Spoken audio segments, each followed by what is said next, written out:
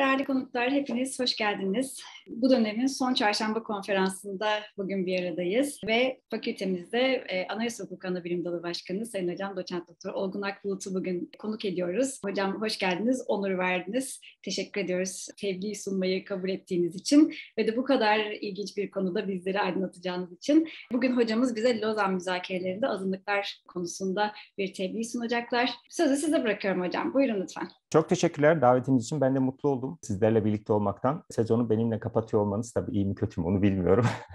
E, elimden geleni yapıp sizi eğlendirmeye çalışayım. Ee, Lozan konusu tabii ki çok farklı boyutlarıyla tartışılan bir konu. Ülkemizde Türkiye'nin kurucu anlaşması olmasından kaynaklanan e, nedenlerden ötürü. E, Lozan deyince aklımıza e, Musul sorunu geliyor, Trakya sınırı geliyor, Ege adaları geliyor, Osmanlı borçları geliyor, boğazların statüsü geliyor, e, bazı kapitülasyonların kaldırılması geliyor ve tabii ki azınlıklar geliyor. E, benim e, Lozan okumalarım azınlıklar üzerindendir. E, diğer konuları da tabii ki bence uzmanlarına sormak lazım. Şimdi sizinle küçük bir şey paylaşarak e, şöyle bir şey yapmaya çalışacağım. Önce Lozan'a gidişte azınlıklar meselesi nasıl görülüyordu ve nasıl bir hazırlıkla gidildi? e, Lozan'a giden heyet neyle karşılaştı, e, neyin müzakeresi yapıldı e, ve bu müzakereler sonunda e, Lozan'a madde olarak e, ne yansıdı? E, şöyle başlayabiliriz diye düşünüyorum. E, 3 Temmuz 1920 me meclis, birinci meclis Nisan 1920'de açılmış. İşte bundan yaklaşık 3 ay kadar sonra e, mecliste bir e, görüşme var. Görüşmenin üst başlığı askeri, siyasi ve iç işlerine dair durum hakkında genel görüşme. Kürsüde Mustafa Kemal var ve şöyle söylüyor. Genel olarak diyor ilke şudur ki milli sınırlarımız olarak belirlediğimiz alan içinde yaşayan çeşitli Müslüman unsurlar birbirlerinin ırksal, yöresel ve ahlaki bütün hukuklarına saygı gösteren öz kardeşlerdir. Onların arzuları hilafında bir şey yapmayı biz de arzu etmeyiz Bizce kesin olarak netleşmiş bir şey varsa o da milli sınırlar dahilinde Kürt, Türk, Laz, Çerkez ve diğer bütün bu Müslüman unsurların menfaati ortaktır. Beraber çalışmaya karar vermişlerdir. Yoksa hiçbir zaman başka bir görüş yoktur. Vicdanen arzu edilen kardeşlik ve inançlı bir birlik vardır. Altını çizmek istediğim noktalar Kürt, Türk, Laz, Çerkez ve diğerleri e, etnik, kültürel ve dilsel farklılıklarına bakılmaksızın hepsi Müslüman unsur ve öz kardeş olarak kabul ediliyor burada. İkinci cümle, ya arada başka cümleler var da benim e, okumak istediğim ikinci cümle. Azınlıklar hakkında da diyor, bütün dünya medeniyetinin kabul ettiği hukuku siz de kabul ediniz diyorlar.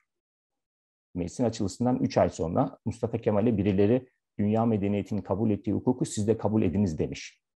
Bu bizim için diyor kolay bir şeydi ve biz bunu memnuniyetle kabul etmişizdir. Bunu tamamlayıcı bir nokta Misak-ı Milli'nin beşinci maddesi. Ee, orada da diyor ki itilaf devletleriyle düşmanları ve bazı ortakları arasında kararlaştırılmış olan anlaşma hükümleri çerçevesinde azınlık haklarına civar ülkelerdeki Müslüman ahalinin de aynı haklardan faydalanması şartıyla riayet edilecektir. Misak-ı Milli madde 5. Bu da işte 3 Temmuz'daki konuşmadan 5 e, ay kadar önce kabul edilmiş olan metin. Burada da e, itilaf devletleri e, bazı antlaşmalar yapmış. Birinci Dünya Savaşı sonrasında. O antlaşmalarda bazı azınlık hakları hükümleri tanınmış. Biz de Müslümanlara da aynısı tanınması şartıyla bunu tanıyacağız diyor Misak-ı Milli'de. Aynı hüküm 1921 tarihli Fransa ile yapılan ve TBMM hükümetinin yaptığı ilk anlaşmalardan biri olan Fransa ile yapılan güney sınırının belirlendiği Ankara Anlaşması'nın 6. maddesinde de var.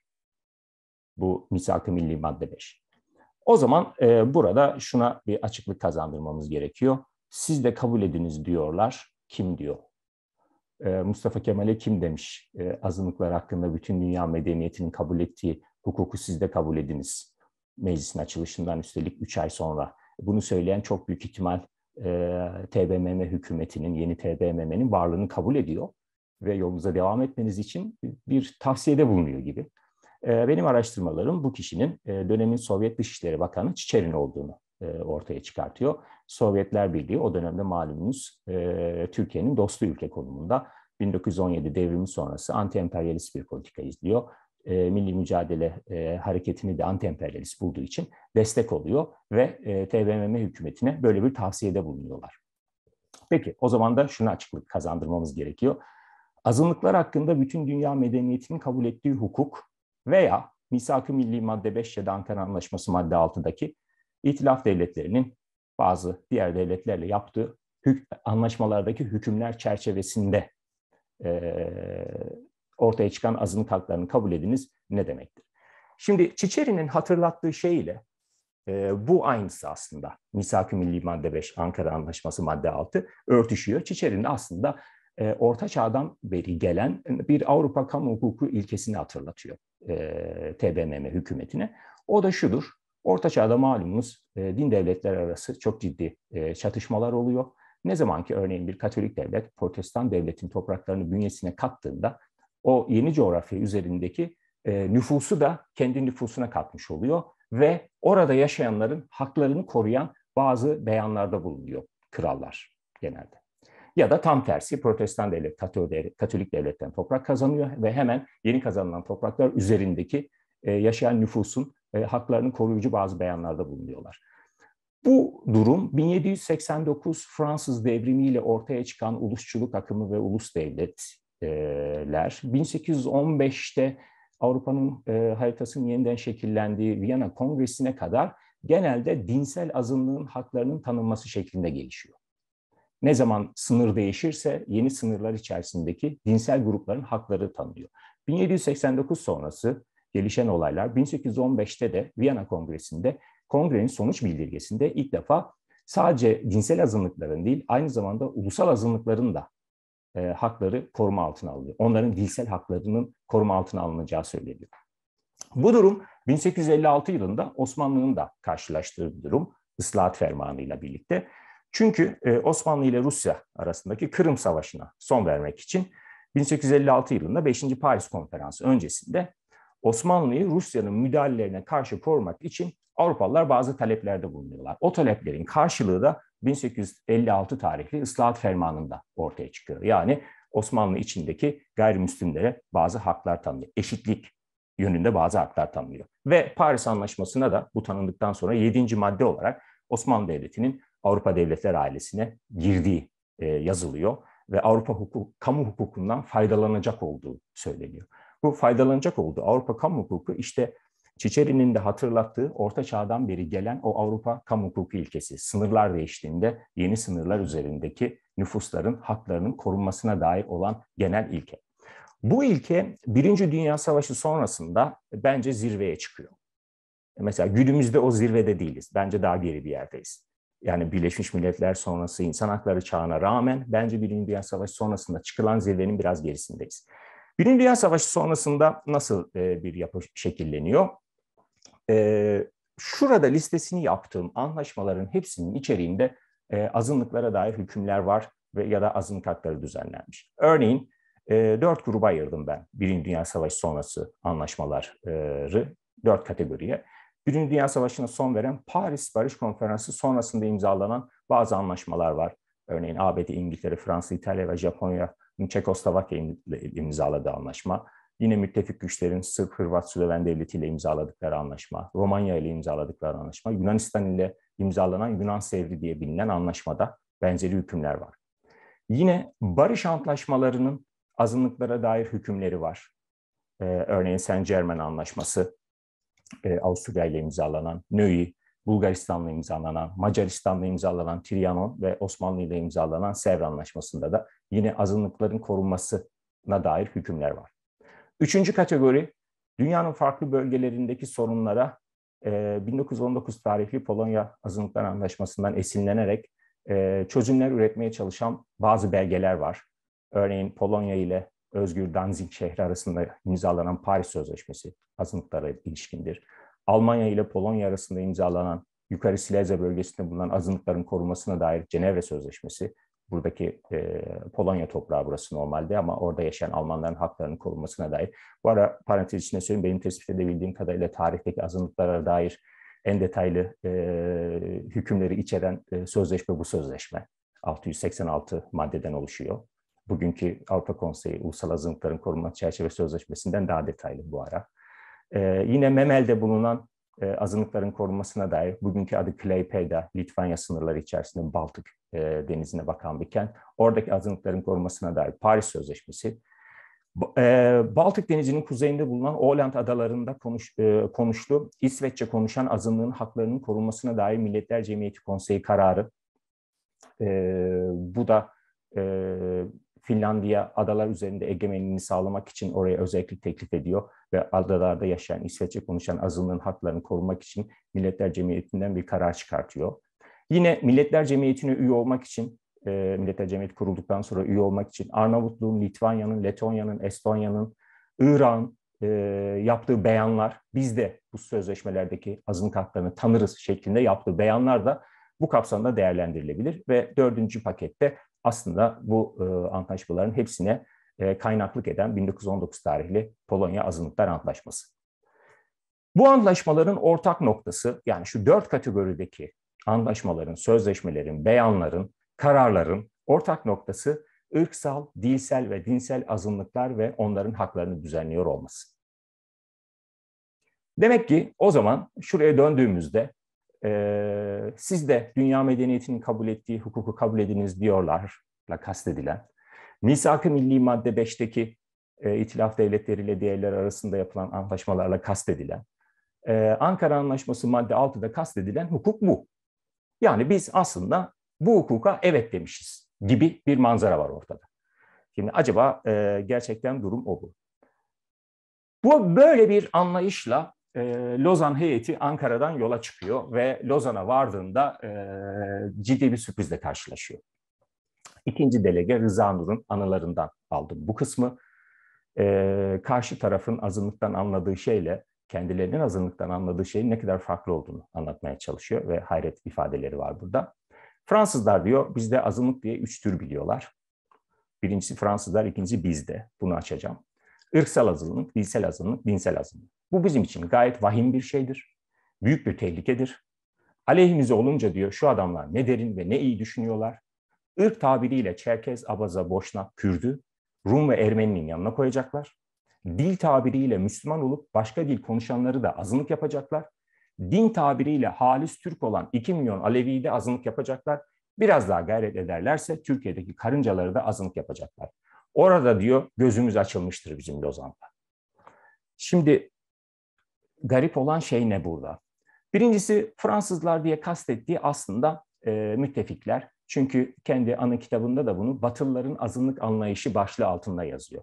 Sanırım e, müzakereler Fransızca yürütüldüğü için karşı taraf ne konuşsa Fransızlar konuşuyor gibi bir algı olmuş orada. Müttefiklerin söylediği şey. Çünkü birazdan göstereceğim size İngiliz heyet temsilcisi ne diyor, İtalyanlar ne diyor, Sırplar ne diyor. Aynı şeyi söylüyorlar aslında. İkincisi e, bizde diyor üç tür azınlık biliyorlar. Bizde derken yani az önce sıraladığım dört kategori altında kabaca 20-30 tane antlaşma var. Hepsinde ırksal, dilsel, dinsel azınlık var ve bu e, anlaşmaların tarafları da işte yukarıdaki listede var. Haliyle bu bize özgü bir şey değil. Aslında daha önce yapılmış yığın anlaşma var bu konuda. E, biz de bu anlaşmalar çerçevesinde azınlık haklarını tanırız, bizim için hiçbir sorun yok diyerek Lozan'a gitmişiz. Tabii e, itiraz edince e, Türkiye heyeti, Lozan'a giden Türkiye heyeti e, karşı taraf konumu anlatmaya çalışıyor. Örneğin İngiliz temsilci Rumboldt'un sözleri.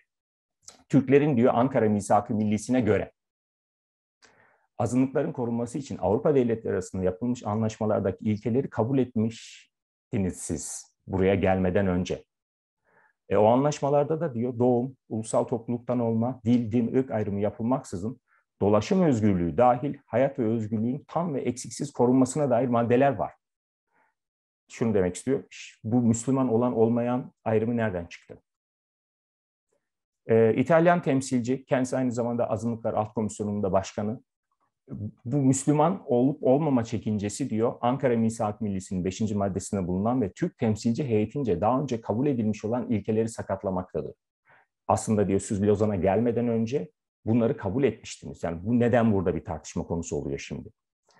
Sırp Hırvat Sloven Krallığı temsilcisi Türkiye diyor çağdaş devletler arasında bir yer, yer almak istiyorsa Türkiye'nin kabul etmesi gereken minimum şarttır bu. Bu en küçük şart da bugün azınlıklara uygulanan devletler genel hukukunun yeni rejimidir. Yeni rejimle de kastettiği yukarıdaki dört kategorideki Birinci Dünya Savaşı sonrası yapılan o adı geçen antlaşmalar aslında.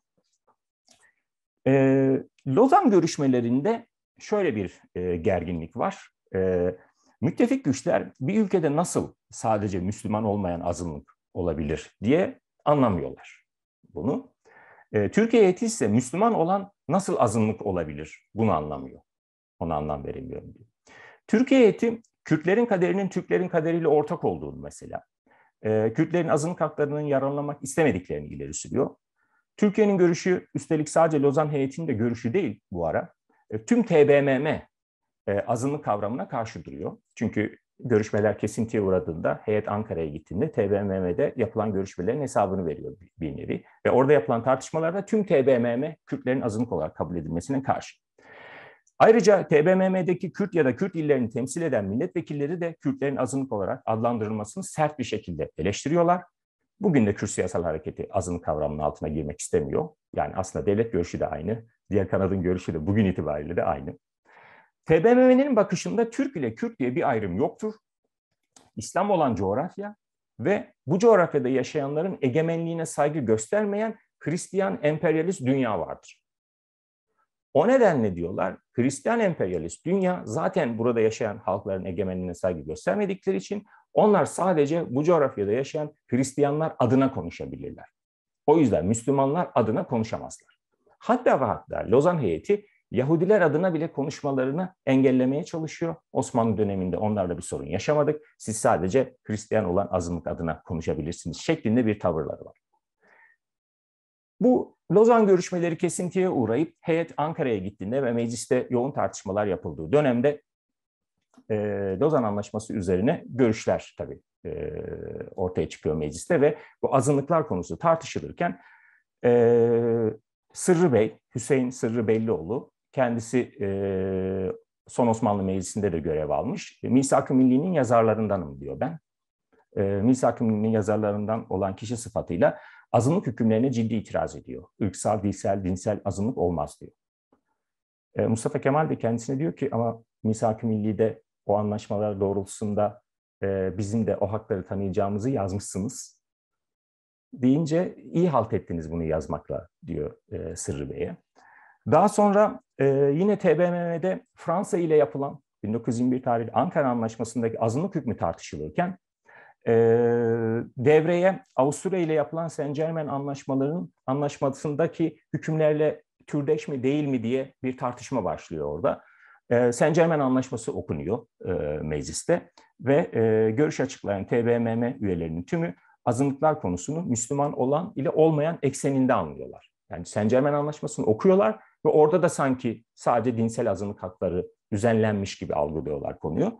Hatta Saint Germain Anlaşması mecliste okunmadan önce yine meclis üyelerinden Mehmet Şeref Aykut diyor ki ben Almanca bilirim diyor biraz. Saint Germain Anlaşması'nda inceledim diyor. Orada böyle bir şey yok diyor. E, haliyle bize diyor ırksal ve dilsel azınlık dayatamazlar diyor. Sadece dinsel azınlık olması lazım. Ama Saint Germain Anlaşması'nda ırksal ve dilsel azınlıklar var. Daha doğrusu tümünde var aslında. E, sonuç olarak e, Türkiye'nin yoğun e, direnci karşısında Müslüman olmayan azınlık kavramı kabul ediliyor. Peki nedir bu yoğun direnç derseniz? Şimdi e, itiraf bloku e, iki haftalığına Lozan'a hazırlanmış e, kabaca. E, Lozan'a gelmeden önce zaten e, Lord Curzon tüm diğer üyeleri topluyor tek ses olarak e, çıkalım e, müzakerelerde diye. E, ve iki hafta içerisinde konuyu yani şeyde Kasım'da başlıyor görüşmeler kabaca. E, Noel tatili girmeden e, anlaşmayı imzalayıp herkes memleketine döner tarzında bir yaklaşım sergiliyorlar. İş uzayınca artık e, Ermeni yurdu, Ermenilerin hakları, Rumların hakları, azınlık hakları ya da Kürtlerin hakları, Süryanilerin hakları gibi konular geri plana çekilmeye başlıyor. İngilizlerin tek derdi e, Boğazların statüsü ve Musul. İtalyanların, Fransızların derdi kapitülasyonlar, ticari ayrıcalıklar. Ee, Yunan heyetinin derdi e, Trakya sınırı, e, 12 adalar ve savaş tazminatı ödememek. Bunlar ön plana çıkmaya başlayınca bir noktada artık e, iyice şeyden düşüyorlar. E, tartışmada enerji kaybediyorlar diyeyim. Ve e, azınlıklar konusu biraz geri plana çıkıyor ve Türk gayrimüslim azınlık kavramını kabul ediyorlar. Peki gayrimüslim azınlık kavramı Lozan'da kabul ediliyor. Fakat e, Lozan hükümlerine bu nasıl yansıyor? Biraz da ona bakalım. Lozan düzenlemeleri içerisinde 37-45 maddeler arasında düzenleniyor. Ben bir kısmını sadece aldım buraya. Madde 37 iç hukukun üzerinde olduğunu söylüyor. Azınlık hükümlerinin. Madde 38 Türkiye hükümeti diyor doğum, milliyet, dil, soy, din ayırt etmeksizin Türk halkının tümünün. Bu önemli. Yaşam ve özgürlüklerini en geniş biçimde korur. Evet 37-45 arasında üç kategoriye hak düzenleniyor aslında. Bir, gayrimüslim azınlıklar. İki, e, Türkiye'de yaşayan herkes. Üç, tüm Türkiye yurttaşları. Evet, azınlık olmayanlara da 37-45 arasında düzenlenen bazı haklar var. 39, 3 ve 4 herhangi bir Türk yurttaşının, burada da Türk yurttaşı giriyor devreye, azınlık değil, Türkiye'de ikamet eden herkes değil. Özel ya da ticaret ilişkilerinde, basında, dini alanda, her türlü yayın konusunda istediği dili serbestçe kullanmasına karşı sınır konulmayacaktır. Şimdi burada da Türk yurttaşı kavramının altını çiziyorum. Türk yurttaşlarına e, Türkçe olmayan dillerde yayın hakkı 2003'te verildi. Ama Lozan'da 1923'te vardı. 80 yıl sonra tekrar bir kanunla verdik bunu ama Lozan'da Türk yurttaşlarından herkese verilmiş idi aslında. Devam edelim. Resmi dil vardır. Burada bir sorun yok ama Türkçeden başka dili konuşan Türk yurttaşlarına, yine Türk yurttaşlarına, azınlıklara değil sadece, mahkemeler önünde kendi dillerini sözlü olarak kullanabilmeleri için gerekli kolaylıklar sağlanacaktır. Bu da ceza hukukundaki ya da insan hakları hukukundaki adil yargılanma hakkı kapsamındaki tercüman hakkının biraz ötesinde bir şeydir. Çünkü e, burada mahkemeler önünde diyor, sadece ceza e, davalarında değil. Çünkü insan hakları hukukunda, e, cumhukta, anayasada, ceza davalarında savunma hakkını kullanabilsinler diye düzenlenmiş bir haktır bu. Tüm mahkemeleri kapsıyor, idari yargıyı da, adli yargıyı da bir şekilde. İkincisi de sözlü olarak, hani yazılı belge veremiyorsunuz resmi dil olmadığı için ama sözlü olarak aslında istediğiniz ifadeyi de bulunabilme hakkı var ve bu da tüm Türk yurttaşlarının, azınlıkların değil. Bu hüküm hala uygulanıyor mu? Sanmıyorum. Ee, KCK davalarında bir düzenleme yapıldı. Buna benzer bir düzenlemeydi. Ama oradaki e, durum şuydu, Türkçeden başka dil konuşan kapsamına giriyor muydu çok tartışılıyor. Çünkü KCK davalarındaki sanıklar aslında Türkçe biliyorlardı. Madde 40, Müslüman olmayan azınlıklar, şimdi azınlık hakları maddesine geldik. Harcamaları kendilerince yapılmak üzere her türlü okul ve eğitim öğretim kurumu kurma, yönetme, denetleme ve buralarda kendi dillerini özgürce kullanma hakkı. Aynı zamanda dini ayinlerini serbestçe yapma hakkı. Şuna ana dilinde eğitim hakkı diyoruz biz. Bu özel okullarda ana dilinde eğitim hakkıdır. İşte bu hak kapsamında bugün Türkiye'de Musevi Lisesi vardır, Rum İlkokulu, Ortaokulu vardır, lisesi vardır, e, Ermeni okulları vardır. E, bu maddenin uygulamasıdır bunlar. 41. madde genel öğretim konusunda Türk hükümeti Müslüman olmayan yurttaşların yine bir azınlık hakkı önemli oranda yerleşmiş oldukları kent ve kasabalarda Türk yurttaşlarının çocuklarının ilkokullarda, ilkokulda sınırlamış sadece, kendi dilleriyle öğretim görmelerini sağlamak üzere gerekli kolaylıkları gösterecektir. Ee, Türk dilinin öğretilmesi bu okullarda zorunlu olabilir. 2-3 noktanın altını çizeceğim burada da. Ee, birincisi önemli oranda yerleşmiş oldukları yerde. Bu azınlıklar hukukunun genel bir ilkesidir. Yeterli sayı şartı e, anlamına gelir. E, belirli bir azınlık hakkını sağlamak için e, belirli bir sayıda kişinin onu talep ediyor olması ve o talebinde bir ihtiyaca denk düşüyor olması gerekir. Evrensel bir kuraldır. Burada var. E, ilkokulla sınırlandırılmış ve öğretim görmelerini diyor. Yani dili öğrenmeleri değil, öğretim görmeleri biz bunu ana dilinde eğitim diyoruz. Yani haftada 200 saat ile e, evde konuşulan dili öğrenmeleri değil, o dil dersi olur. Dil öğretimi olur. Burada o dilde öğrenim görmekten bahsediyor. Bu ana dilinde eğitim aslında. Ve e, Türkçe'de tabii ki resmi dilde o okullarda zorunlu okutulan dersler arasında olacaktır. Evet bu da evrensel kuraldır. Ana dilinde eğitim dünyanın hiçbir yerinde tek dilde eğitim değildir. E, zorunlu e, eğitimin e, bittiğinde ana dilinde eğitim gören çocuk aslında çift dilli olarak mezun olur. Haliyle ana dilde eğitim görecekler de e, resmi dili öğrenmeyecekler mi? O bir siyasi slogandır. Çünkü bunun olduğu bir yer zaten dünyada yok. Müslüman olmayan azınlıklara ilintili Türk yurttaşlarının önemli oranda bulundukları kentlerde, yine önemli oranda bulundukları kentlerde, kasabalarda vesaire, devlet bütçesinden, belediye bütçesinden veya benzeri bütçelerden eğitim konusunda adil bir pay alacaklardır. Önemli olan da bulundukları yerlerde e, bütçeden pay alacaklar. Yani o okullara destek yap, destekte bulunulacak. E, peki neden İstanbul dışında bu maddelerin uygulaması yok derseniz çünkü nüfus mübadelesiyle aslında önemli olan da bulundukları bir yer yok Türkiye'de. Ee, İstanbul dışında e, azınlık okulunun olduğu yer Gökçeada ve Bozcaada. Ee, o da e, 37-45 arasından değil ama Lozan'dan kaynaklanan başka bir statü gereği orada da okul var. 42. madde Türkiye hükümeti Müslüman olmayan azınlıkların aile ya da kişi statüleri konusunda bu sorunları sözü geçen azınlıkların geleneklerine göre çözümlemesi. Burada gelenekle kastettiği dinsel hukuk. Türkiye hükümeti Müslüman olmayan azınlıkların aile ve kişi statüleri konusunda aslında burada bir çok hukukluluk tanınmış. Ee, çok yoğun tartışmalar üzerine tanınmış bir şey bu. Ee, Türkiye, e, Lozan'da e, medeni kanun hazırlıkları içerisinde olduğunu iddia ediyor. Karşı taraf kesinlikle inanmıyor buna. E, medeni kanun kabul edilene kadar böyle bir şeye e, boyun eğmiş bir şekilde heyet. Zaten medeni kanun kabulüyle de birlikte e, işte azınlık temsilcilerinden gelen e, mektuplarla birlikte bu maddeden artık gerekli olmadığı şeklinde bir uygulama başlıyor 26'dan beri. Müslüman olmayan azınlıklara mensup Türk yurttaşları inançlarına aykırı ya da dinsel ayinleri bozucu herhangi bir işlem yapmaya zorlanamayacaklardır. E, hafta tatilleri gününde kesinlikle onlarla ilgili bir yasal işlem yapılamaz. Mahkemelerde hazır bulundurmaya zorlanamazlar. Önemlidir çünkü e, burada da yine egemenliği kısıtlayıcı bir durum var. Daha sonra Türkiye hafta tatillerini e, Batı ile uyumlaştırınca belki gerek kalmadı. Ama örneğin cumartesi günü, e, şabat günü e, ya da pazar günü, kilise günü e, Musevilere ya da e, bir şekilde Hristiyanları mahkeme önünde hazır bulunmaya zorlayamazsınız. Onlarla ilgili resmi işlem yapamazsınız. Yaparsanız hiçbir hakkına dokunamayacak. Yani hüküm doğurmayacak anlamına gelir. 44. madde azınlık hükümleri Milletler Cemiyeti güvencesi altındadır. Bu benim kısaltılmış şeklim. O yüzden tırnak içine koymadım. Ee, azınlıklara dair anlaşmazlık çıktığında Milletler Cemiyeti Anlaşması'nın 14. maddesi uyarınca bu bir uluslararası nitelikte anlaşmazlık kabul edilir ve anlaşmazlığın çözüm yeri de Uluslararası Daimi Adalet Divanı'dır. E, konuşmamın basışında e, Birinci Dünya Savaşı sonrası zirve yaptı ve bugünkünden de e, daha yüksek bir zirvede derken de biraz kastettiğim buydu.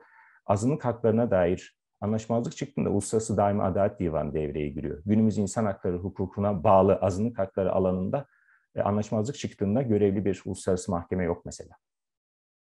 O dönem vardı hem de Uluslararası Adalet Divanı. E, fakat şunun altını çizeyim. 37-45 arasında Türkiye'de yaşayan herkese, TC vatandaşlarına ve azınlıklara hak tanınıyordu. Bu uluslararası güvence sadece azınlıklara ilişkin bölümü kapsıyor. azınlık olmayan TC yurttaşları ya da Türkiye'de ikamet edenleri değil. Peki bu haklar kime tanınmıştır? Lozan azınlıkları olarak bilinenler efendim ülkemizde Ermeni Gregorian Kilisesi mensupları, Rum Ortodoks Kilisesi mensupları ve Museviler. Peki Lozan'da bunların adı geçmiyor olmasına rağmen bu sınırlandırmayı nasıl yaptık? Onun da hukuki zemini özel eğitim kurumları kanununa dayandırılmış durumda. Orada azınlık okulları olarak e, tanımlananlar Rum, Ermeni ve Musevi azınlıklar tarafından kurulmuş. Lozan Anlaşması ile güvence altına alınmış ve kendi azınlığına mensup Türkiye Cumhuriyeti uyruklu öğrencilerin devam ettiği okullar, okul öncesi eğitim, ilk öğretim, orta öğretim diye tanımlanıyor. Yani Lozan'daki e, gayrimüslim azınlığı kimdir sorusuna cevabı biz kanunla vermişiz ve e, bu üç grubu kanunda anmışız. Peki o zaman da soru şu, e, Süryaniler ne olacak? E, onlar da gayrimüslim değil mi? Ve Türkiye'de yaşayan başkaca gayrimüslimlerin konumu ne olacak? E, yıllarca Süryanilerin Lozan kapsamında koruma görüp görmeyecekleri tartışma konusu olmuş idi. Biraz grubun kendi içerisinde bir bütünlük sağlayamaması, biraz da e, o üç grubu genişletmemek için idarenin takındığı tavır e, konuyu çok uzattı ama sonunda şöyle bir manzara çıktı karşımıza. E, 2013 tarihinde e, bir mahkeme kararı var elimizde. Ankara'da bir idare mahkemesi kararı bu. E, başvurucular e, Süryani Kilisesi Vakfı. Kendileri bir anaokulu açmak istiyorlar. İdare bunu reddediyor. Onlar da mahkemede dava açıyorlar. Ve Ankara'da e, idare mahkemesi diyor ki bu kanun ile Lozan hükümleri arasında çatışma vardır. Lozan'da diyor bu üç grupla sınırlandırılmamıştır. Gayrimüslim ifadesi vardır. Bu genel bir ifadedir. Oysa kanun Lozan'daki hakları sadece bu üç gruba vererek bu grupla bu gruplar ile bu üç grup ile diğerleri arasında ayrımcılık yapmaktadır. Kanun Lozan'a aykırı olduğu için e, kanunu uygulamıyorum, Lozan'ı uyguluyorum. Evet diyor Süryani Kilisesi Vakfı da e, anaokulu açabilir. Bunu söylerken nerelere basıyor hani hukuki zemin olarak? Birincisi e, Lozan madde 37'ye e, basıyor ve iç hukukun üzerindedir diye Lozan. İkincisi e, anayasa madde 42'ye e, basıyor. Orada Türk TC vatandaşlarına Türkçeden başka hiçbir dilde ana dil eğitim verilemez ama uluslararası anlaşma hükümleri saklıdır diyor. E, saklı olan anlaşma orada Lozan, ona basıyor. 90'a 5'i anıyor ama bence sadece anıyor. Kararı onun üzerine kurmuyor. Bence de 95'te ilgisi yok. Çünkü o zaman Lozan İnsan Hakları Sözleşmesi ilan etmeniz lazım. Ben karşı değilim, ediniz ama e, onu yapmıyor kararda.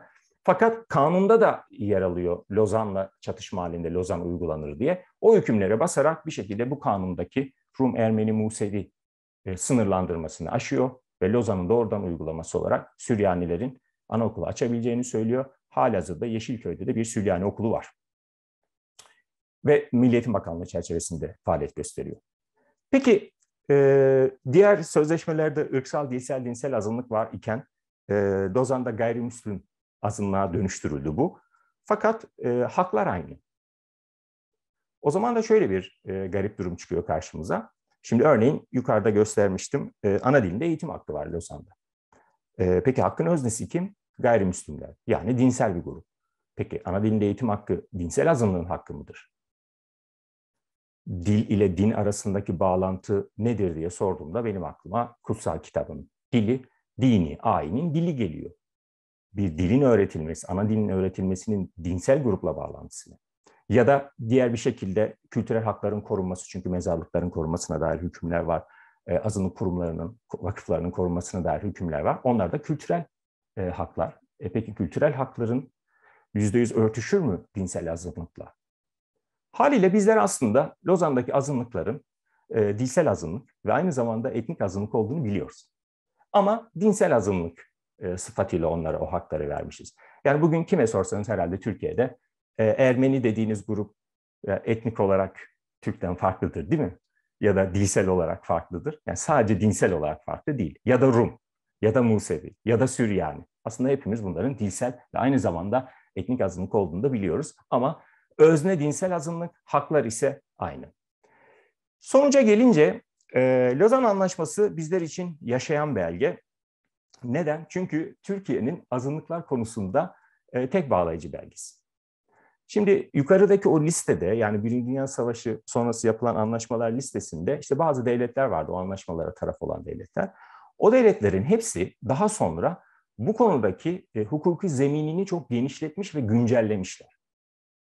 Örneğin birinci, ikinci Dünya Savaşı sonrası yapılan barış antlaşmalarında bir kısmı taraf olmuş. Orada da azınlıklara dair hükümler var. Birleşmiş Milletler sonrası dönemde insan hakları hukukuna paralel gelişen bir azınlık hakları hukuku var. Birleşmiş Milletler azınlık hakları bildirgesine imza koymuşlar. Birleşmiş Milletler yerli haklar bildirgesine imza koymuşlar. Birleşmiş Milletler Medeni Siyasal Haklar Sözleşmesi'nin 27. maddesi var. O kapsamda yükümlülük altına girmişler. Çocuk Hakları Sözleşmesi'nde Birleşmiş Milletler'in 17, 29, 30. maddelerde azınlık çocuklarının haklarına dair düzenlemeler var. Orada yükümlülük altına girmişler. Avrupa Konseyi'nde ulusal azınlıkların korunmasına dair çerçeve sözleşme var. Ona taraf olmuşlar. Avrupa'da azınlık ve bölgesel dilleri şartı var. Ona taraf olmuşlar ve bir şekilde art, artı bunları iç hukuka yansıtmışlar. Anayasalarında düzenlemişler. Kanunlar çıkarmışlar ve durumu güncellemişler. Bu grup içerisinde e, tek hukuki zemini olan ülke Türkiye yani bir tane hukuki zemini var Türkiye'nin ve o zeminde 100 yıllık. Peki çok mu değerli Lozan Anlaşması gerçekten? Evet, tek hukuki zemini Türkiye'nin azınlıklar konusunda Lozan olduğu için evet, Türkiye için çok değerli. Ama hani Orta Çağ'dan beri başlayan ve günümüze gelen azınlıklar hukuku içerisinde değerlendirdiğimde Lozan denizde bir damla. Çünkü alana bir katkısı yok. Hatta 100 yıl önce yazılmış olan antlaşmalardan da geride. Neden? Birincisi özne çok dar. İkincisi bazı haklarda devre dışı bırakılmış.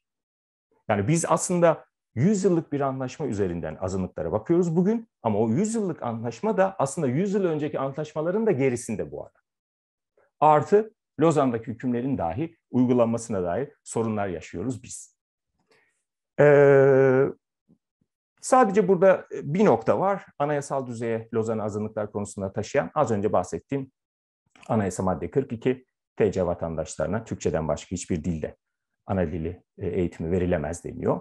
E, işte oradaki istisna hüküm sadece Lozan. Zaten başka da bir e, Türkiye'nin sorumluluk altına girdiği uluslararası bir belge yok azınlıklar konusunda. Bu kısım biraz son dönemde aşılmaya çalışıldı ama aşıldı mı emin değilim. O da şuydu. 2 Mart 2014 tarihli bir değişiklik yapıldı yabancı dil eğitim kanununda. 30 Mart 2014 yerel seçimlerinin öncesine denk düşürüldü bu değişiklik. Bu değişiklikte özel öğretim kurumları kanunun hükümlerine tabi olmak üzere Türk vatandaşlarının günlük yaşamlarında geleneksel olarak kullandıkları farklı dil ve lehçelerde eğitim ve öğretim yapmak amacıyla özel okul açılabileceği yazıyor. Aslında Anayasa madde 42'ye çok net aykırı bir hüküm.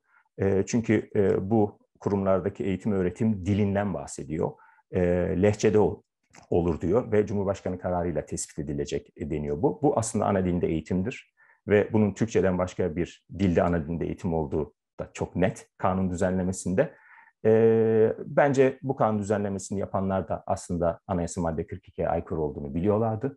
Lozan'daki hükmün çok daha ötesine geçtiklerini biliyorlardı. O yüzden uygulaması da olmadı. Seçim öncesi bir düzenlemeydi ve böylece tarihe de karıştı. Efendim ben sözlerimi burada bitirebilirim sanırım. Sonra arzu edenlerin soru ve cevaplarıyla devam edebiliriz. Teşekkür. Sayın Hocam çok teşekkürler. Ee, daha siz sözlerinizi tamamlamadan e, sorular için hazırlıklı olanlar var gerçekten. E, bu istisnai bir durum. E, her zaman yapıyorum bunu. E, gerçekten böyle katılımcıların biraz ısınması için zaman gerekebiliyor. Bu sevindirici bizim için. E, bu arada hocamız soruları topluca alıp sonra hepsini değerlendirmeyi tercih eder. Dolayısıyla ben e, şu an ilk olarak e, Ada isimli katılımcıyı görüyorum. E, hanımefendi, beyefendi bilemiyorum. E, mikrofonunuzu açmanız için şu an e, yardımcı olmaya çalıştım. Buyurun lütfen sizin sorunuzu alabiliriz. Çok teşekkürler sunumunuz için. Benim aslında aklıma şu takıldı. Süryaniler e, kendi içlerindeki bazı e, kaoslardan dolayı, anlaşmazlıklardan dolayı e, azınlık olarak yani kalamadılar ama ben şunu anlamadım. Neden azınlık olmak istemezler? Bu statüyü almak istemezler. Tamam. Aldım soruyu.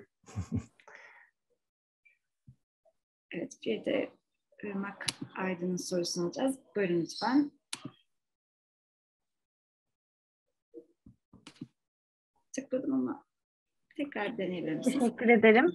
E, ben burada Lozan e, madde 42'ye biraz takıldım açıkçası. Burada çok hukukluktan e, bahsettiğini söylemişti hocamız.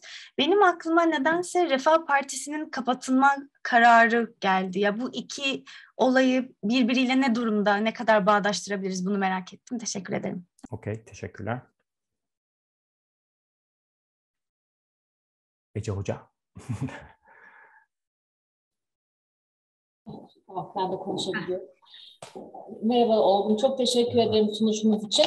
E, Lozan Anlaşması benim hep kafamı karıştırmıştı. Yani iki satır önce okuduğumda best madde sonrasındaki nasıl uyuşuyor diye e, boşuna anlamıyormuşum.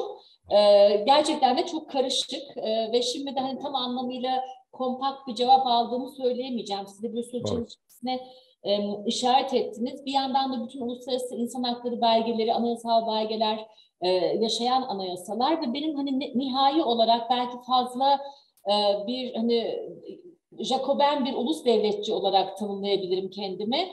E, eşit ve seküler bir yurttaşlığın bütün garantileriyle güvence altına alındığı bir ulus devlette azınlığa ihtiyaç olacak mıdır? Tamam. Yani beni hep bu soru meşgul ediyor. Çünkü azınlık meselesi aslında eşitliğin görelileştirmesi olarak bana hep yansıyor. Ama gerçekten de eşit ve seküler yani bu ikisi bir arada eşit ya da seküler ve veya seküler değil. E, o zaman gerçekten de Lozan Anlaşması'nın ötesine geçebilir miyiz? Bir de e, siz kanunla somutlaştığını söylediniz. Baktım şimdi elimdeki tam metni ama bulamadım. Hızlı baktım belki de. Ermeni Gregorian, Rum Ortodoks ve Musevilerden bahsettiniz ama biliyorsunuz bir de Ermenilerin içinde Katolik bir küçük azınlık var. Evet, olabilir. Onlar dahil mi değil mi? Dahil, yani dahil olması gerekir. Orada da mesela e, Ermenilerde hem ırk hem de dinsel bir e, hani örtüşen bir azınlık olma hali var. Çünkü e, hani ırk olarak Ermenilikle dinsel aidiyet de örtüştürülüyor. Eğitimlerinde özellikle din eğitimlerinde biliyorum. E, hani bu da bir sorun. Bir de e, birçok yerde hani yurt, Türk yurttaşlarından ve yurttaşlığa atıf yapılmaksızın e, bu azınlıklardan bahsedildi. E, tabii bu da benim için şöyle bir soruyu getiriyor. Mesela bu sayılan azınlıklara tabi olup Türkiye'de yerleşim hakkına sahip olup Türk vatandaşlığına sahip olmamak azınlık hakları edinilmesi için bir anahtar mıdır? Yoksa Türk vatandaşlığı hala buradaki kilit unsur mudur? Ee, ama dediğim gibi yani kendi adıma bütün bu yıllardır anlayamadığım şeylerde hala pozisyonumun eşit ve seküler e, bir yurttaşlıkla e, gelişen eşitlikçi bir insan hakları anlayışına yaklaşmayı daha kolaylaştıracağını düşünüyorum. Çok teşekkür ederim. Ee, ben teşekkür ederim hocam. Ee, anahtar diye sorduğunuz kısımda e, Lozan kapsamında azınlık mıdır diye mi soruyorsunuz? Evet, yani tamam. Türkiye'de o hak, azınlık haklarına sahip olacak mıdır? Yani sadece bu din ya da e, etnisiteye ait olduğu için. Tamam, anladım. Teşekkürler. Rica ederim. Sorularınız için teşekkür ederiz Ece Hocam. Ee, bir soru daha var Olgun Hocam. Uygun göreceğiz. Hı. Ali Çerçiyan. Hemen mikrofonumuzu açmak için yardımcı oluyorum. Buyurun.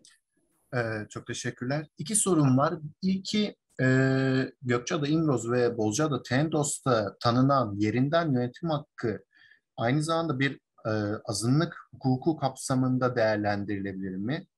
İkinci olarak da e, asırlardır özellikle de kozmopolit, İstanbul, İzmir gibi şeylerde yerleşik olan Levantenlerin e, Lozan dışında bırakılmasının nedeni ne olabilir? Sorularına teşekkürler. Tamam mıyız? Başlayalım mı? Bence epey var. Hepsi de önemli çünkü. Şimdi e, Süryaniler kendi içerisinde e, kaos tan ötürü e, neden azınlık statüsünü e, istemezler sorusu. E, bence Türkiye'de azınlık statüsünü istemeyenler var ama onlar Süryaniler olduğu kanaatinde değilim. Süryanilerin kendi içerisinde yaşadığı tartışma benim anladığım kadarıyla birlikte hareket edememeden kaynaklanıyor. Bir kısmı yani çok önemli bir kısmı Avrupa ülkelerine göç etmişti.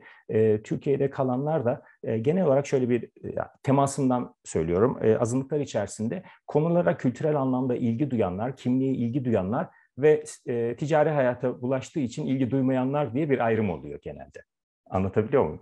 E, bu bütünlük sağlamak açısından sorun yaratıyor. E, örneğin Mardin'de bir oluşum vardı e, Süryanilerin. Onların taleplerini dinlediğimde yani gücümüz çok az derken kastettiği yani devlet gücü karşısında ezilmesi değil bir araya gelemeyemekten ötürü şikayetçiydi. Ama Süryaniler Türkiye'de e, azınlık statüsünü istemiyorlar diyemem en azından ben böyle bir şey duymadım. Aksine tam aksini duydum. Ama Türkiye'de azınlık statüsünü istemeyenler var evet.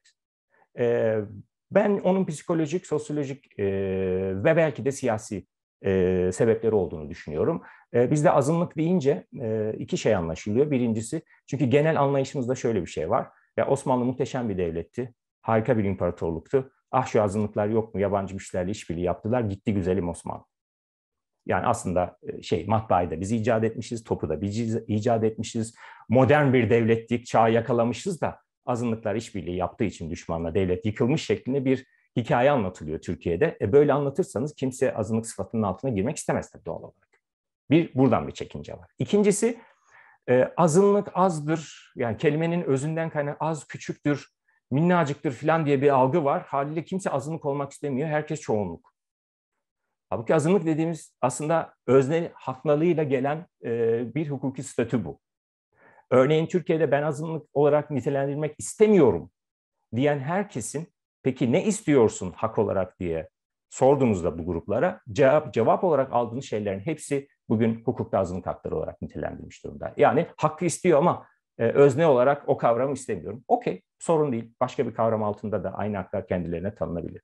Bu bana biraz şeyi de andırıyor. Ee, bir Suriyeli mülteciyle karşılaştım. Ee, tüm mülteci haklarını istiyor. Fakat ben mülteci değilim, misafirim diyor. Şimdi böyle bir algı var. Yani bana mülteci demeyin. Mülteci çok kötü bir statüymüş gibi. Halbuki çok güzel hakları olan bir statü aslında. Yani misafir statüsü onun çok daha gerisinde aslında baktığınız zaman. Ee, diğer bir konu madde 42 çok hukukluluk e, ve Refah Partisi e, davası. Evet bence de benzeri bir şey var burada. Şimdi çok hukukluluk meselesinde ben bunu azınlıkların medeni, önce Lozan kapsamında e, konuya gireyim. Azınlıkların medeni hakları çerçevesinde alıyorum. Şimdi Türkiye heyeti Lozan'da diyor ki işte biz diyor yakında bir medeni kanun kabul edeceğiz. E, Müslüman olan olmayan herkes bu kanunla bağlı olacak ve çok hukukluk sorunu kalmayacak diyor. Bunu hem modern ülke olmanın gereği olarak sunuyor hem de artık Osmanlı döneminden kalma çok hukukluluğun sonu olarak sunuyor bunu. İngiliz temsilci de diyor ki Müslümanlara ve Hristiyanlara aynı anda uygulanabilecek bir hukuk ben bilmiyorum bu imkansız bir şeydir. Ee, İtalyan temsilci çıkıp diyor ki Türkiye'de herkese eşit uygulanabilecek bir medeni kanun kabul edilebileceğine kesinlikle inanmıyoruz. Sırp, Hırvat, Sloven krallığı temsilcisi çıkıp diyor ki biz de diyor ülkemizde medeni hukuku modernleştirmek için benzer bir yol denedik e, ama imkansızlığından ötürü bundan vazgeçtik diyor. Türk heyeti de diyor ki, e, ediyor yani siz bizden istiyorsunuz ki bünyenizde yaşayan Hristiyanlara farklı bir hukuk tanıyın. Peki diyor Hristiyan Avrupa ülkelerinde yaşayan Yahudileri siz farklı bir hukuk mu tanıdınız? Onlar sizinle aynı medeni kanuna tabi değil mi? Neden bizde olmasın diyor. Ve medeni kanun çıktığında bu sorunun aşılacağını söylüyor. Bunun üzerine tam ikna edemediği için işte 42. madde devreye giriyor. E, Türkiye heyeti nasıl olsa medeni kanun çıkacak. Medeni kanun çıktıktan sonra biz bu sorunu hallederiz diye e, yaklaşıyor meseleye ve 42. maddeyi biraz boyun eğiyor orada. Yani çok hukukluluk maddesi. Ve gerçekten de medeni kanun çıktıktan sonra sorun bir şekilde hallediliyor. Nasıl halledildiği kısmına girmiyorum şimdi.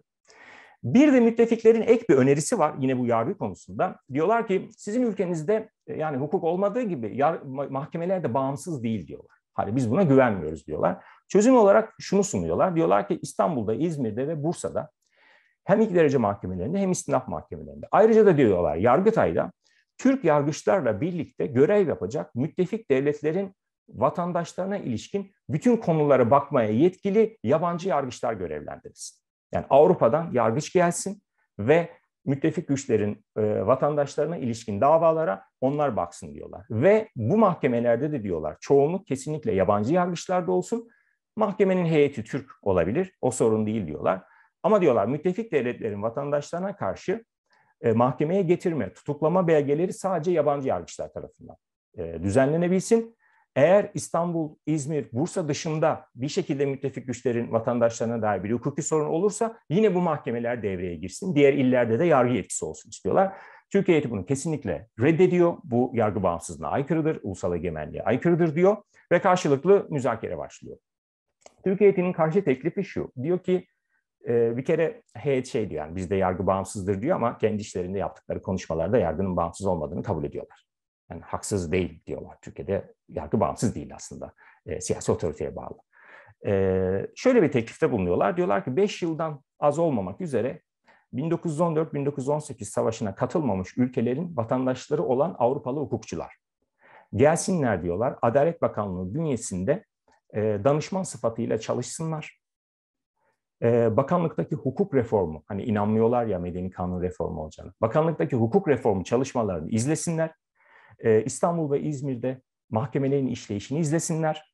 E, ve diyorlar e, kanunların uygulanmasında ortaya çıkacak anlaşmazlık olduğunda Adalet Bakanlığı'na danışmanlık yapsınlar bu konuda. Yargı yetkileri olmadığı için, Adalet Bakanlığı'na danışmanlık yapacakları için, mahkemenin işine karışmayacakları için bu kadarını kabul edebiliriz diyorlar. Ve müzakereler sonunda da uygun bulunuyor Türkiye heyetinin e, bu teklifi ve Lozan Anlaşması'na yargı yönetimine ilişkin bildiri başlığıyla ekleniyor bu. E, Avrupalı hukukçuların danışman sıfatıyla Türkiye'de bulunması. Şimdi 42. maddeye dönersem evet orada bir e, çok hukukluluk vardır. E, aile ve e, kişi statüleri konusunda kendi hukuklarını uygulayacaklar hükmü vardır. E, bu Türkiye'de e, 90'lı yıllarda Medine vesikası üzerinden savunulan çok hukukluluk gibi bir şeydir. Orada da diyordu ki onu savunan İslami kesim, e, biz diyordu laik devletin e, medeni kanuna göre e, evlenmek, boşanmak istemiyoruz. Laik devletin ticaret kanununa göre ticari faaliyetlerimizdeki sorunları çözmek istemiyoruz. E, dinsel tahkim odaları kurulsun, kendi cemaatimiz içerisinde bu sorunları halledelim diyorlardı. E, bunu da e, Medine vesikasına dayandırıyorlardı. e, Refah Partisi de bunu savunuyordu çok hukuklu sistem olarak. Anayasa Mahkemesi tarafından kapatılmasının sebeplerinden bir tanesi de evet çok hukuklu sistem savunusuydu. Bu ara Avrupa İnsan Hakları Mahkemesi de çok hukuklu sistemin olamayacağı ve kargaşa yaratacağı. Çünkü buradaki çok hukuklukla kastedilen İslam hukuku oldu. İslam hukukunda kadının ikincil konumu ve bazı İslami ceza hukukundaki e, e, cezaların e, sözleşme sistemiyle bağdaşmayacağı, insanlık dışı muamele ve ceza olduğu gerekçesiyle de buna geçit vermemiş idi. O açıdan arada bağlantı var mı? Evet bence var. Yani aşağı yukarı çok hukukluk sistem konusunda benzeri şeyi söylüyorlardı. Ece Hoca'nın sorusuna gelince eşit ve seküler yurttaş varken azınlık haklarına gerek var mı? Eşit ve seküler yurttaşı gerçek anlamda kurarsanız evet gerek olmayabilir hocam. Eşitliği gerçek anlamda kurarsanız kadın haklarına da gerek olmayabilir. LGBT haklarına da gerek olmayabilir. Ama ben günümüzün insan hakları hukukunun eşitlikten böyle bir şey anladığını sanmıyorum. Örnek, Yunanistan Anayasası'nda Yunan Ortodoks Kilisesi devlet dinidir diyor ve Avrupa İnsan Hakları Mahkemesi açısından hiçbir sorun yok. Çünkü orada Avrupa İnsan Hakları Mahkemesi eşitliği çoğunluğunun dini inancıyla azınlık dini inançlar arasında kurmuyor. Devlet diyor çoğunluğun dilini de, dinini de, kültürünü de korur. Azınlıklara da eşit davranıyorsa eşitliktir bu. Ama örneğin çoğu 30 milyonluk bir ülkede 20 milyon çoğunluk işte 5 milyondan da iki tane azınlık var. 20 milyon için harcadığı rakamı ve devletin onlara verdiği hizmeti 5 milyon olanlara da vermesi lazım. Aksi halde ayrımcılık olur demiyor. İnsan hakları hukuku eşitliği buradan kurmuyor. Ya da örneğin ana dilinde eğitim hakkı insan hakları hukukunda tanınmış bir hak değil. Ee, orada hala slogan üzerinden götürülüyor iş. Sanki ana dilinde eğitim hakkı resmi dili ya da ulusal dili öğrenmeme hakkıymış gibi. Halbuki çift dilli eğitim demektir o. Yani İspanya'nın özel bölgelerinde de o, o şekilde. İşte e, Silezya'da da o şekilde, e, Hollanda'da da o şekilde, e, Bolzano'da da o şekilde ve bu şekilde devam ediyor. Haliyle orada o zaman ne yapmış oluyorsunuz? Siz e, azınlıktan aldığınız vergiyle e, çoğunluğa ana dilinde eğitim veriyorsunuz. Azınlığa da çoğunluğun dilini öğretmiş oluyorsunuz. Ve insan hakları hukukuna çözüm getirmiyor işte. Yani orada devreye azınlık hakları hukuku giriyor ve insan hakları hukukundan azınlık hakları hukuku gayet bilinçli olarak kopartılmış. Örnek, Birleşmiş Milletler İnsan Hakları Evrensel Bildirgesi hazırlıkları sırasında azınlık hakları koyalım diyorlar. Müthiş tartışmalar oluyor, bildirgeye koymuyorlar. Ee, daha sonra e, Avrupa İnsan Hakları Sözleşmesi'nin hazırlık çalışmalarında azınlık hakları hükmü koyalım diyorlar, koymuyorlar. Ek protokol hazırlayalım diyorlar, 10 yıl çalışıyorlar, kabul etmiyorlar protokolü. 10 yıl sonra tekrar ek protokol hazırlıyorlar, onu da kabul etmiyorlar. Sonunda ayrık hukuk olarak düzenliyorlar onu. Yani aslında azınlık hakları hukukunun düzenlediği şey, azınlık belgelerinin düzenlediği şey, insan hakları hukukunun düzenlemediği, eksik bıraktığı bir alanı kapatıyor. Ha ben isterdim ki eşitlikten anlaşılan aslında azınlık haklarının kapatmaya çalıştığı şeyi de kapsayan bir eşitlik olsun. Yani örnek mesela kadın erkek eşitliği var. Aslında yani bunu hakkıyla uygulasanız birçok sorunu çözersiniz. Ama yetmiyor. Ee, kanun önünde kadınla erkek eşittir diyoruz. Ondan sonra kadın hakları düzenliyoruz. O da yetmiyor. Kotalarla eşitlemeye çalışıyoruz filan. Halbuki en baştaki eşitlikten anlaşılan şey diğer sonradan düzenlediklerimiz de kapsasa bence bir sorun olmaz. E, azınlık hakları alanında da öyle. Azınlıkla çoğunluğu e, sayısına göre eşitlemiyor mevcut hukuk sistemi. O açıdan zaten ki bence e, onu tamamlamaya çalışan azınlıklar hukuku da Birinci Dünya Savaşı sonrasında eriştiği seviyenin gerisinde bugün aslında. Ne açıdan? Bir, koruma sistemleri yok desem yeridir. İki, dili çok zayıf. E, programatik hükümler oluşturmuş. Oysa e, benim size bahsettiğim sözleşmelerde çok daha net hükümler var. E, hele de o Polonya'daki azınlıkların haklarını düzenleyen sözleşme aslında çok net bu konuda. E, buna biraz Almanlar e, yeterince, yani biraz çözüm üretebilmişler diye tahmin ediyorum. Örneğin orada da mesela Sorplar dışında, yani yerli halk dışındaki halkların ana dilinde eğitim hakkı yok. Ama örneğin dinsel alanda e, Almanya işte o din vergisini herkesten alıp yine herkese hizmet şekline dönüştürdüğü için yani sizin eşitlik değil de seküler kısmına geldiğimde e, o biraz devletin yapısıyla ilgili bir şey. Ben Türkiye'nin zaten layık bir devlet olduğu kanaatinde değilim. Bizde resmen ilan edilmemiş olmamakla birlikte, yani resmen derken hani belgede yazmıyor, bir hukuki belgede yazmıyor ama aslında resmen ilan edilmiş durumda. Sünni İslam devletiyiz biz yani. E, sadece anayasada ya da kanunda yazmıyor ama Diyanet İşleri Başkanlığı'nın e, statüsü, kanunu yaptığı işler tamamen e, onu gösteriyor. E, evet, sekülerliği de, laikliği de gerçekten herkese eşit mesafede durarak uygularsanız, kamu hizmetlerini, kamu bütçesini e, her türlü dini inancın sayısına göre bölerek harcar, bölerek bir şekilde hizmet sunarsanız, evet o alanı da kapatabilirsiniz ama zaten zaten e, etnik, dilsel, dinsel azınlıklar içerisinde e, azınlıklar hukukunun en az koruma sağladığı alan dinsel azınlıklar hukukudur. Neden derseniz çünkü insan hakları hukuku, din ve vicdan özgürlüğü konusunda epey bir konuyu kapatmış durumda. Örneğin Avrupa İnsan Hakları Mahkemesi bile Türkiye'de e, Diyanet İşleri Başkanlığı'nın statüsü konusunda net bir ayrımcılık kararı verdi. Ki bence o bir artık Alevi kararı değil, Diyanet İşleri Başkanlığı'nın topyekun olarak devletin din ile olan ilişkisinin incelendiği bir karardır ve orada çok net ayrımcılık verdi. Aslında buradaki ayrımcılık şuradan kaynaklanıyordu. Ee, kesinlikle Diyanet İşleri Başkanlığı eliyle Sünni İslam'a yapılan hizmetle hiçbir sorun yok Avrupa İnsan Hakları Mahkemesi'nin.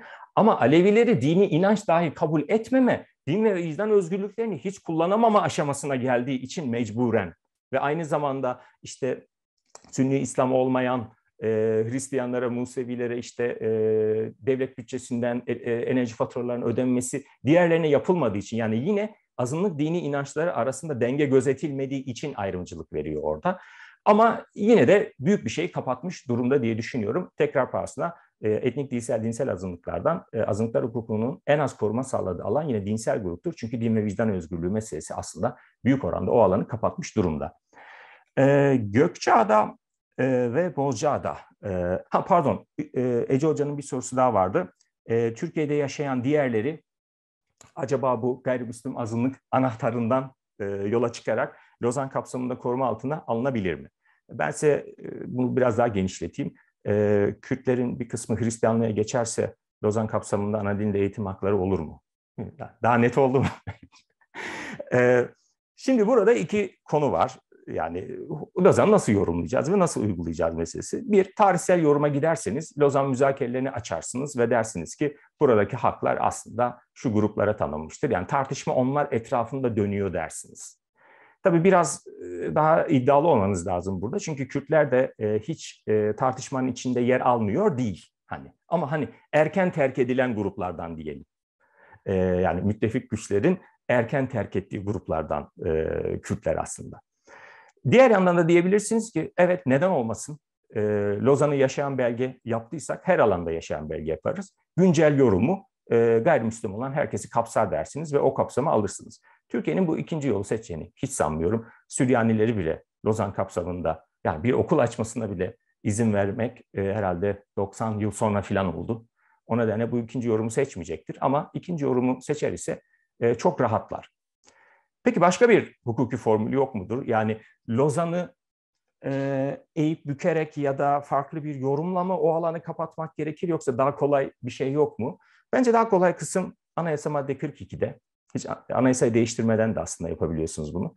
Hani orada diyor ya e, uluslararası sözleşme hükümleri saklıdır. Ana dilinde eğitim yasağı var, uluslararası sözleşme hükümleri saklıdır. Sözleşmeyle kastedilen Lozan çünkü başka uluslararası sözleşme Türkiye'nin tarafı oldu. O zaman gidiniz azınlık hakları sözleşmelerine taraf olunuz. Anayasa madde 42'deki istisna kapsamında herkese her türlü hakkı tanımış olursunuz. Yani Lozan'ı zorlamaktansa gidiniz ulusal azınlıkların korunmasına dair çerçeve sözleşmeye taraf olun. E, hemen madde 42'deki istisna kapsamına girmiş olur. Uluslararası sözleşme hükümleri saklıdır diye. O da uluslararası sözleşme. Haliyle çok net olarak istediğiniz gruba istediğiniz hakkı aslında tanıyabilirsiniz. Hukuki formülü çok daha kolay olur. Anayasada değiştirmeden sadece sözleşmeye taraf olarak imza ve taraf olma. İmza ve onay kanunu. Ee, Gökçeada ve Bolcaada meselesine gelince e, efendim Gökçeada ve Bolcaada konusu da bence azınlıklar konusudur ama Lozan'da ilginç bir olay oluyor. Gökçeada ve Bolcaada konusu evet Lozan'da düzenlenmiş madde 14. Ama e, neden 14. maddede de 37-45 arasında değil? Gökçeada ve Bozcaada'nın konumu boğazların statüsü ve Ege adaları kapsamında değerlendiriliyor. Çünkü Türkiye heyeti diyor ki Gökçeada ve Bozcaada tarafsız olmak zorunda hatta bize devredeceksiniz. Neden? Ee, Birinci Dünya Savaşı sırasında diyor boğazlara yapılan saldırılar bu iki ada e, üs olarak kullanılarak yapılmıştır. Haliyle boğazların güvenliği çerçevesinde konu ele alınıyor. Ee, Yunanlar buna karşı çıkıyorlar. e, İngilizler de karşı çıkıyorlar. Onlar da özellik veremeyiz buraya diyorlar. E, çünkü daha önce diyorlar Samos'ta ve Girit'te tarihsel bazı sorunlar yaşandı özellikten ötürü. E, buna sıcak bakmıyorlar. Türkiye'nin bastırması üzerine bu sefer sanki İngilizler kendileri teklif etmişler gibi evet egemenlik Türkiye'de kalsın ama adalarda yaşayan e, Rum azınlık için özel bir yapı kuralım diye teklif ediyorlar. Türkiye hemen bunu kabul ediyor. Peki bu yapı nereden geliyor? E, bu çok var dönemin uluslararası anlaşmalarında. Örneğin 1917 Ekim devrimini fırsat bilerek Finlandiya bağımsızlığını ilan ediyor. E, Finlandiya küçük bir ülke olmaktan kaynaklı böyle fırsatları iyi değerlendiren bir ülke. E, daha önce de mesela e, Finlandiya İsveç'e ait iken Ruslar daha geniş bir özellik teklif ettiğinde Rusya'ya bağımlı hale gelmişlerdi. 1917 Ekim devrimiyle birlikte bu sefer galiba Rusya'nın etkisi gidiyor buradan deyip hemen bağımsızlığını ilan ediyorlar. Bağımsızlığını ilan edip anayasa hazırlayıp resmi dil Fince ilan ettiklerinde Åland adalarında yaşayan İsveççe konuşan azınlık bundan rahatsız oluyor Fin milliyetçiliğinden ve İsveç kralına mektuplar yazarak e, bizi İsveç'e alın diyorlar. Bunun üzerine de Finlandiya Milletler Cemiyeti'ne bir beyanda bulunuyor. İlk, ilk önce İsveç ve Fin heyetleri tartışıyorlar ve diyorlar ki adalar e, bizim egemenliğimizde kalsın e, ve biz e, adalara özellik verelim teklifinde bulunuyorlar ve Milletler Cemiyeti kararına bağlanıyor bu. Bunun aynısını yapıyor Türkiye heyeti de Lozan'da. Gökçeada ve Bozcaada'nın egemenliği bizde kalsın. Üzerinde yaşayan Rum azınlık için özellik teklif ediliyor. Ve bu kabul ediliyor. Şimdi size özellik maddesini göstereyim.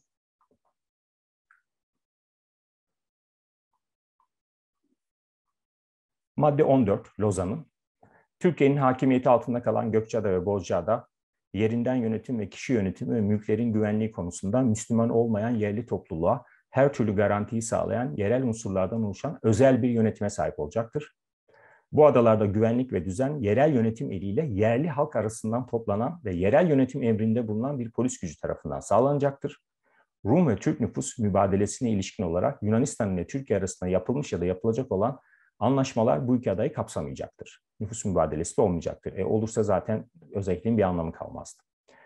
E, 1927 yılında Türkiye Büyük Millet Meclisi Lozan Anlaşması'nın bu 14. maddesine işlerli kazandırmak için bir kanun çıkartıyor. 1151 sayılı kanun. Bugün de yürürlükte olan bir kanun bu. Bozcaada ve İmroz kazalarının mali idareleri hakkında kanun. Şimdi bu kanunda neler var?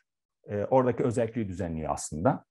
E, Gökçeada ve Bozcaada yerel unsurlardan oluşan bir teşkilata tabi olacak. Çanakkale iline bağlı nahiye statüsünde olacak ama Çanakkale il yönetiminin aslında e, adalar üzerine pek de bir etkisi yok.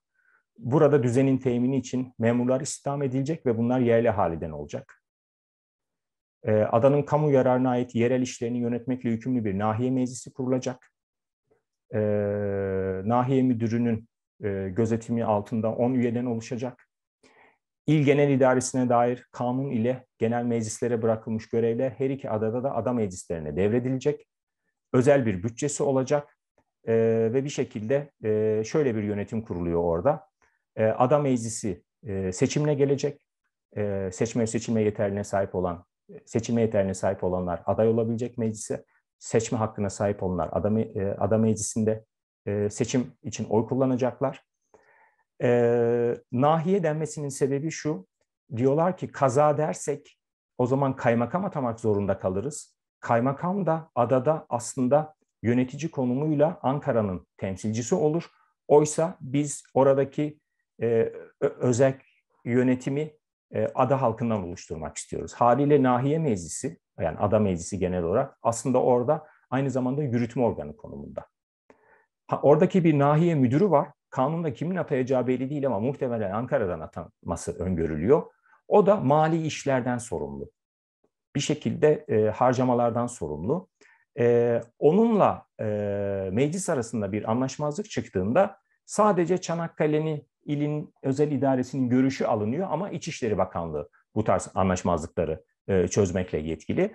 Özetle burada e, bir e, idari özel yapı kurulmuş durumda.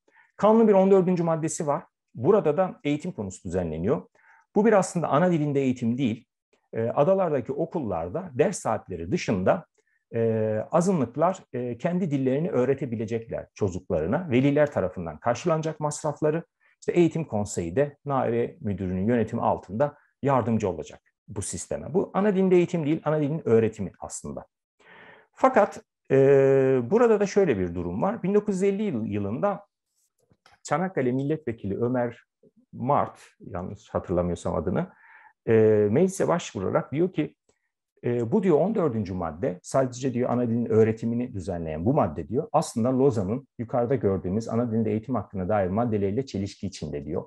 Lozan'da diyor gayrimüslim azınlıklara ana dilinde eğitim hakkı verilmiş. Hatırlayınız e, sayıca yeterli sayıda bulunduğu yerlerde ana dilinde eğitim hakkı vardı ve devlet bütçesinden yardım da alacaklardı.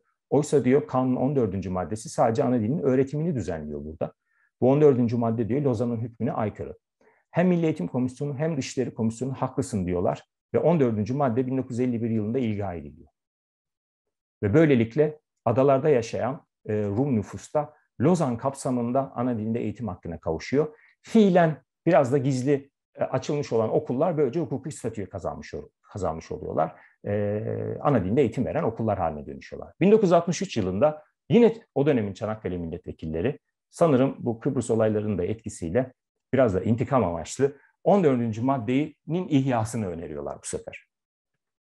Ee, çok farklı gerekçeler ileri sürüyorlar. Gerekçelerin pek bir aslında hukuki zemini yok. Ee, 14. madde yeniden ihya ediliyor ve okullar kapatılıyor. 14. madde bugün kanunda duruyor ama sanırım 2015 tarihiydi. 2015'ten sonra Gökçeada'da bir okul e, devreye girmiş oluyor. Evet, bence bu bir azınlık okuldur. Burada ana dilinde eğitim yapılmaktadır. Ama 37-45 arasındaki hükümler kapsamında değil de sanki e, Lozan madde 14 ve ilgili kanun kapsamında yürütülüyor gibi duruyor.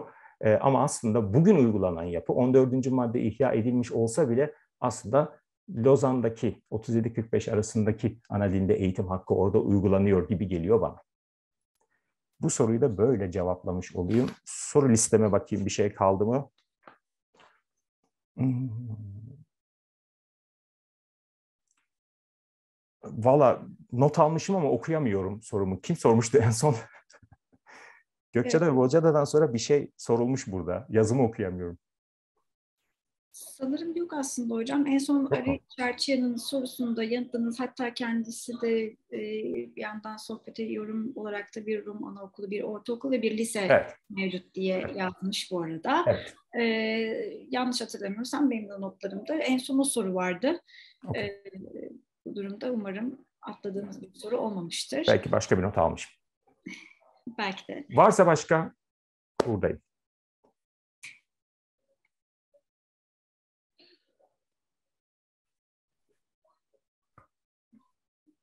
Ali Bey tekrar el kaldırdılar. Onun tekrar mikrofonunu açması için yardımcı olayım. Ee, hocanın notlarını da okuyamadı soru galiba benim sorum. Şeyi sormuştum. Evet. Levantenler Heh, evet. için... E, bence e, ha, orada şöyle bir e, durum var. E, Lozan'daki Türkiye heyeti e, şey savunusunda bulunuyor. E, sizler bir kere sadece diyor e, Hristiyan olanlar hakkında, hakkında konuşabilirsiniz. Onları temsil edebilirsiniz. Hristiyan olmayan diğer dinsel azınlıklara hiç dokunamazsınız diyorlar. Ve diyorlar bizim diyor e, azınlıklarla ilgili aslında bir sorunumuz yok. Bakınız Yahudilerin konumu diyorlar. Osmanlı'yla hiçbir sorun yaşamadılar. Mevcut Türkiye Cumhuriyeti ile de hiçbir sorun yaşamıyorlar. Haliyle orada onların haklarını savunan kimse yok. Ee, örneğin Amerikan temsilci var e, Lozan'da. Amerika Lozan'ın tarafı değil, e, müzakere yaptığımız tarafta da değil. Sadece dinleyici sıfatıyla bulunuyor ama işte otelde, lobide, orada burada Türkiye heyetini sıkıştırarak onlar da mesela Ermeni yurdu kurulması üzerine e, telkinlerde bulunuyorlar. Ama e, Hristiyan olmayan gruplar için aslında orada söz hakkına sahip pek kimse yok. O bir tartışma konusu olmuyor. Ama gayrimüslim kapsamına tabii ki girer yani gayrimüslim olan, Müslüman olmayan herkes Lozan kapsamına giriyor olması lazım. Yine oturup bugün biri çıktığında ortaya Ece Hanım'ın sorusuna e, verdiğim cevaptaki gibi şey oturup tartışmak lazım. Yani Lozan kapsamında mı yoksa başka kapsamda mı kapsamak gerekir? Ben kapsanmasından yanayım bu ara. Zaten 100 yıllık ve 100 yıl öncesine göre de geri bir sözleşmeden bahsediyoruz. Bunun güncellenmesi gerekir. Yorumuyla da başkaca sözleşmeler eklenerek de.